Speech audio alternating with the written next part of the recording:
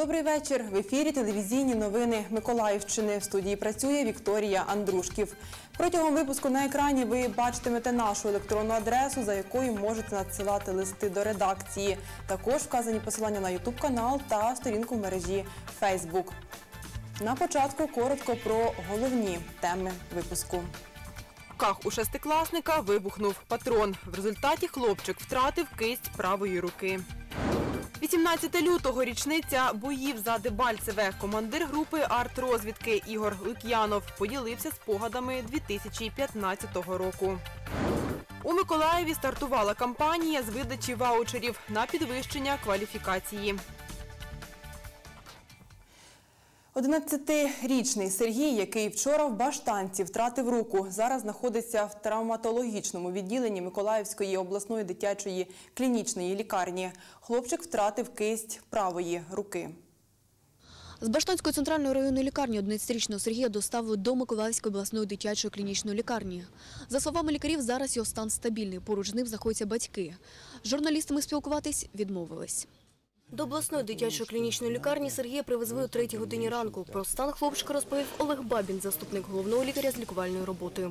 Ми дуже благодарны врачам Баштанской центральной районной больницы, которые, в принципе, на их плечи... Ми дуже вдячні лікарям Баштанської центральної районної лікарні. На їхні плечі лягла перша допомога. Вони сформували куксу. І в подальшому для подальшого лікування серед знеболювання та інших тактичних дій дитина була відправлена до нас. Ми взагалі-то проводили вже знеболювання. Зараз обирається тактика подальшого ведення дитини. Звичайно ж, я думаю, потрібна буде психологічна допомога як дитині, так і батькам. Але в подальшому, напевне, все-таки потрібно буде вирішувати питання, щоб у дитини був протез. решать вопросы о том, чтобы у ребенка был протезик. Хлопчик перебуває в ортопедо-травматологічному відділенні. В якому він стані, розповів лікар-травматолог Євген Шестопавлов. У него э, ампутация правой кисти на уровне нижней трети предплечья и У нього ампутація правої кисті на рівні нижньої третини передпліччя, і множинні рани, і сад на обличчя. Зараз стан його стабільно важкий з огляду на тяжкість його травми. Він знаходиться в стадії медикаментозного сну. Далі вже буде проводитися лікування безпосередньо цієї травми передпліччя, місцеве лікування, загальне лікування. Ну і в подальшому це протезування. Ну и в дальнейшем это протезирование. Патрон, який вибухнув у дитини в руках, хлопцю дав його товариш. Поліцейські виїхали на місце події. Було встановлено, що 11-річний хлопчик приніс додому набій, якому з його слів йому подарував його товариш. Дитина намагалась розкрутити боєприпас. У цей час він вибухнув, і в результаті хлопчик отримав тілесні ушкодження. Поліцейські з місця події вилучили уламки від е, набою калібру 12,7 мм.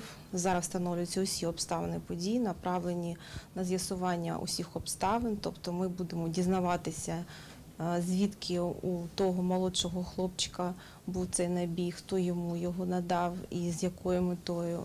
Зараз за вказаним фактом розпочато два кримінальних провадження. За частиною першої статті 263 Кримінального кодексу України це незаконне поводження зі зброєю, бойовими припасами або вибуховими речовинами, а також за статтею 128 Кримінального кодексу України це необережне тяжке або середньої тяжкості тілесне ушкодження. Нагадаємо, вчора о 17.50 до Баштанської центральної районної лікарні привезли хлопчика з травмою руки без кисті. У нього в руках вибухнув патрон. Поліція з'ясовує обставини справи. Світлана Кльосова, Ігор Чорний, телевізійні новини Миколаївщини. 18 лютого річниця боїв за Дебальцеве. Цього дня у 2015 році українські військові залишили Дебальцівський плацдарм. Командир групи арт-розвідки Ігор Лук'янов поділився з нашими колегами з новин на першому Ориною Легащовою та В'ячеславом Машковським спогадами про ті події. Ігор Лук'янов, військовий з позивним Маклауд, народився у Краматорську Донецької області. Пішов воювати навесні 14-го року. Поки конфлікт був Поки конфлікт був внутрішнім, я маю на увазі події на майдані, то я в це не втручався, і мене цей конфлікт взагалі мало цікавив. Скажу відверто. Щойно з'явилися російські прокури, російські війська. Тут вже все стало зрозуміло. Згадую, як виходив з Дебальцівського плацдарму. Вихід е, Вихід у мене тяжкий був. Мою колону на виході розбили вщент. У нас було два БТРи, два Урали, один бензовоз і КАМАЗ з повним особовим складом. У деяких поранені були, в деяких убиті. Колона була повністю знищена. З усієї колони вийшло 14 людей всього. Загальне число десь близько 80 було. Інші або загинули, або потрапили в полон. Розповідає, скільки годин тривав вихід та як проривалися з оточення. Мой выход а, Мій вихід тривав часов 6 годин. Після підриву БТР у нас всі поранені і контужені були. Тих, кого могли, ми зібрали і розбилися на дві групи. Ми навіть загубили один одного в бою. Це була нижня лозова, вже захоплена противником. У нас було два виходи або по мінних полях за своїми ж, або з боєм прориватися через село. Інших варіантів не було. Ми прийняли рішення прориватися через село, бо на мінах на своїх же підриватися взагалі не комільфо. І власне ми пробили дорогу з Дебальцевого. Потрапили з першу засібку, ледве прорвали першу засібку, потім вже побачили другу. Там розтягнулася група сіл. З другою не стали вже в бій вступати. Просто обійшли стороною і вже десь до ранку вийшли до наших. Із Дебальцівського виступу останні військові вийшли 20 лютого 2015-го. Почався вихід 18 лютого. До цього часу, за версією Генштабу, утримуючи Дебальцівський плацдарм, українські війська зірвали плани бойовиків на масштабний наступ, який передбачав захоплення Артемівська, Краматорська і подальший рух у напрямку Харкова.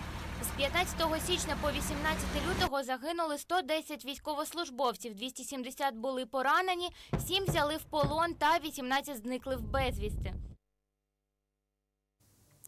На Миколаївщині в центрах зайнятості розпочалась цьогорічна кампанія з видачі ваучерів на підвищення кваліфікації.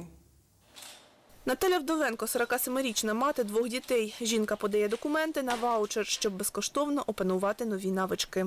Курси курси не у просторіччі веб-дизайн, тобто інженер програмного забезпечення. В принципі, цікава тема. Діти дорослі і не хочеться від них відставати. Хочеться з ними бути трошки на одній хвилі, як говориться. І цікаво взагалі.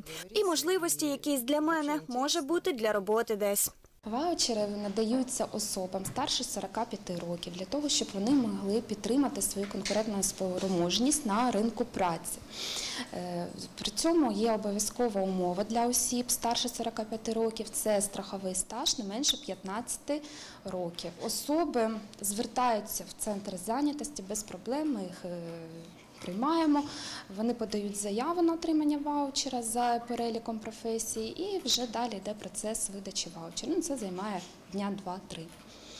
Ще мають право отримати ваучер особи, які приймали участь в антитерористичній операції. Е, Значить, тут немає ніяких вікових обмежень, немає обмежень по страховому стажу.